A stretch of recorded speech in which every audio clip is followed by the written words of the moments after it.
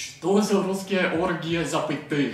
Когда я вижу в России какой-то текст, который написан на английском языке, мне сразу видно всегда, что текст был переводен русским человеком, потому что там столько много запятий прям везде. И я поэтому думал, что русские просто очень драматические люди.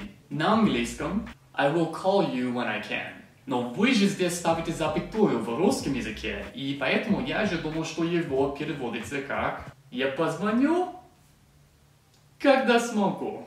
Почему здесь нужен пауз? Английская версия I did it because I thought it was the right thing to do. Русская версия Я это сделал, потому что я думал, что это было правильно. Ну, ребята, поэтому я в этом видео буду вам объяснить, как правильно ставить запятые в английском языке. И не как будто вы нашли автомат оружия, который стреляет запятые на очень быстрый режим. Запятые, запятые, запятые, запятые, запятые. И если вам интересно получать больше занятий с меня, то переходите по ссылке на English Plus, который будет в описании, где вы можете получать именно занятия и с меня, и с наших учителей. Вся информация будет там.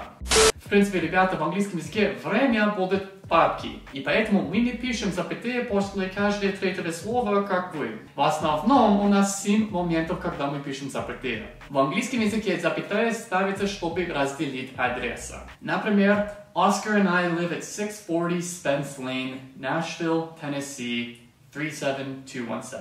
Это почтовый адрес. И мы ставим для названия географических мест. Например, Оскар хотел бы посетить Париж, Францию. Oscar would like to visit Paris, France. И частный дат. He was born on April 1st, 2001.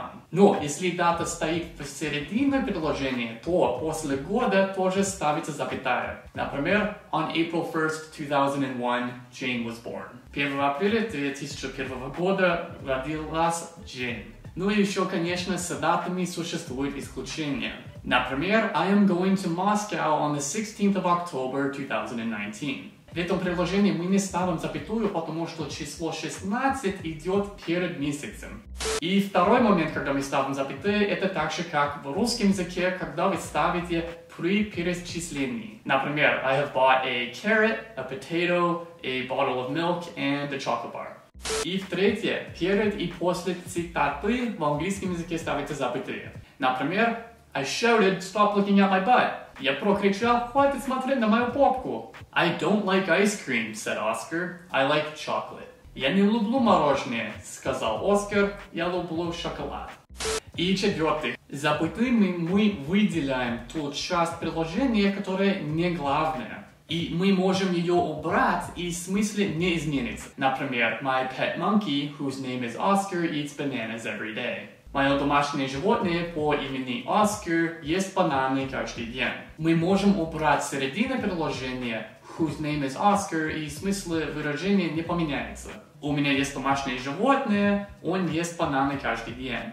И пятый момент, когда мы ставим запятые, это когда мы связываем вместе два части приложения именно словами for and so, but, yet или or. Например, will the monkey eat the banana or will it eat the apple? Или еще пример, monkeys love bananas for they are delicious. Обезьяны любят бананы, потому что они очень вкусные. И шестой момент, мне даже было очень сложно это попробовать сказать на русском, поэтому я просто вот это прочитал. Мы ставим запятые при перечислении двух или более прилагательных, описывающих одно существительное. Это, например, просто когда у нас много прилагательных. Oscar is a very nice, intelligent, and easygoing monkey. Оскар очень хороший, умный и свободного ума обезьяна. Также запятые используются для разделения либо трех, либо больше слов или фраз. Например, Oscar spends his time eating, taking naps and watching movies. Например, Оскар тратит свое свободное время на кушание, сон и смотрение телевизора. Кстати, to take a nap просто значит поспать чуть-чуть. И последний момент, это либо после слов, либо после фраз, которые стоят перед главной частью предложения. Например, after eating, the monkey took a nap. После того, как обезьяна покушала, она легла спать.